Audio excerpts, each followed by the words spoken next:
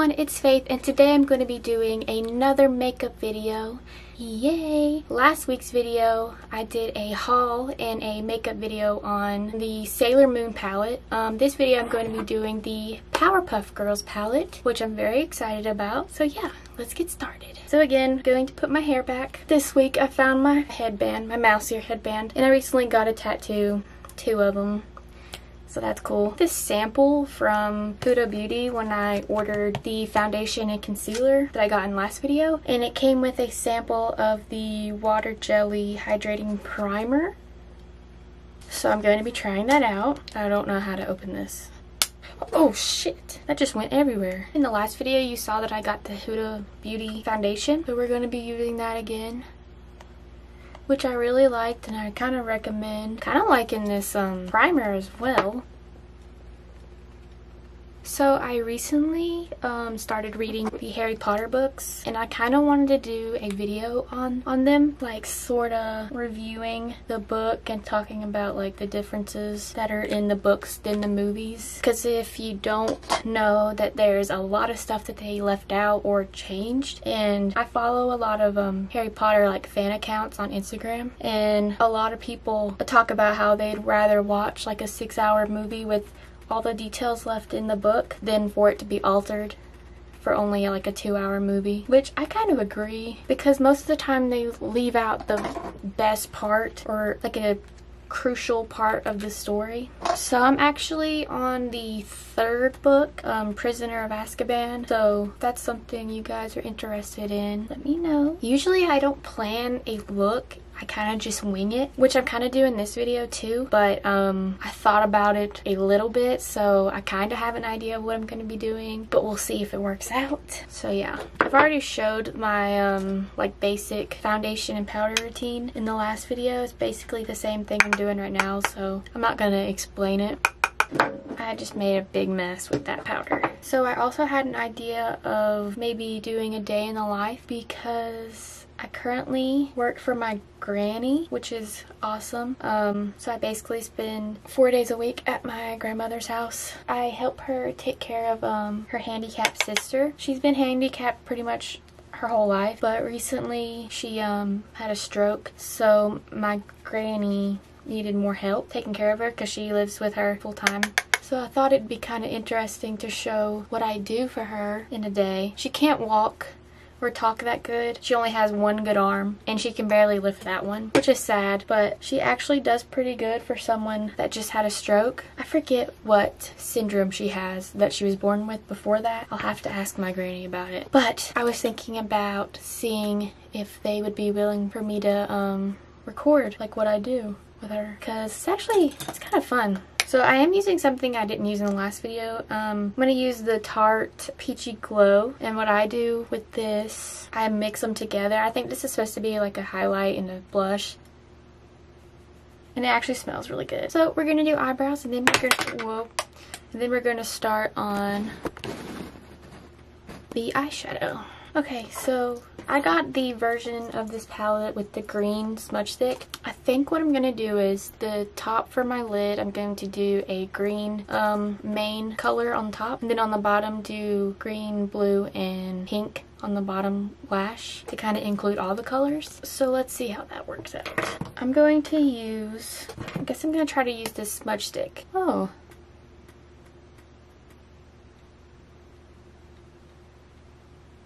That's pretty.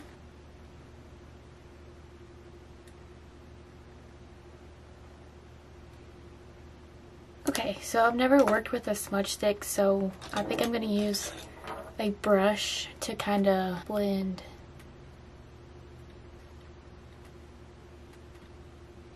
Okay, so now I'm going to use the color Silico. I think that's what it's called.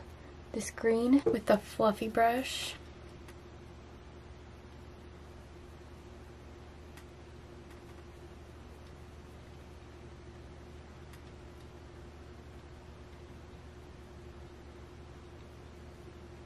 Okay, so I need a darker color to deepen the outer corners, but I have no idea what color I'm going to use because I don't have a darker green.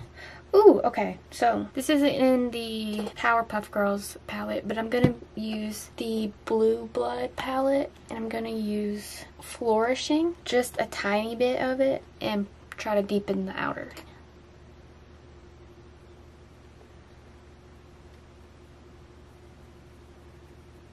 Wow, this is kind of a hard color to not get patchy. So I'm going to take the smudge stick again and go over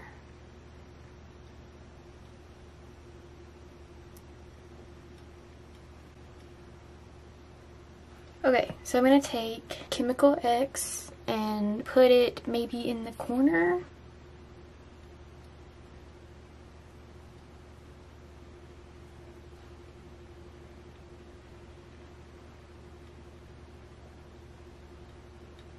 So I'm just going to take a little bit of the Chemical X and go up the just the top part of where I put the smudge stick just to kind of highlight that.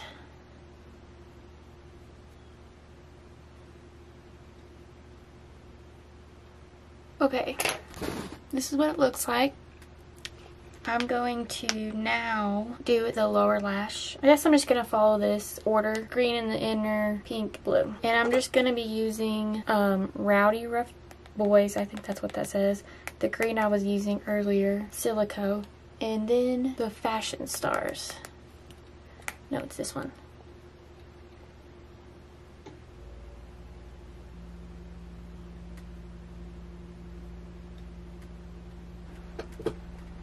You guys, the heck?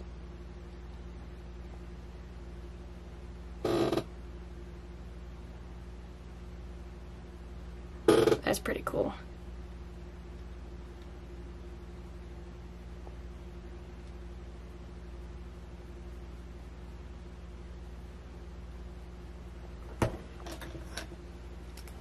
Shit. Wow, I'm kind of like impressed with myself. This is what it looks like. I think I'm going to take the green smudge stick and go over on my waterline where I put the green. Okay, so now I'm going to put highlighter on. I'm just going to use my Brain Freeze palette and I'm going to use Cold Shoulder.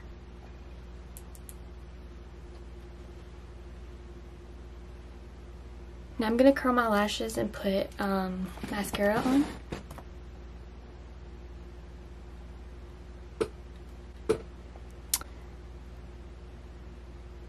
Motherfucker.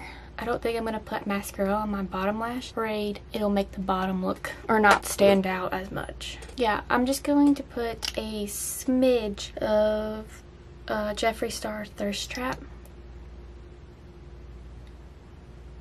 Okay, so last thing is this Morphe setting mist. Um, I got it last video in the haul, but I just forgot to use it, so we're going to use it right now.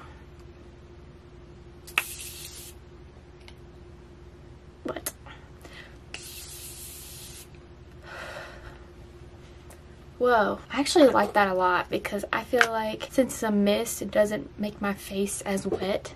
So that's cool. Okay guys, this is the end of the video and the finished look. Um, I hope you guys enjoyed this video and I will see you next video. Bye.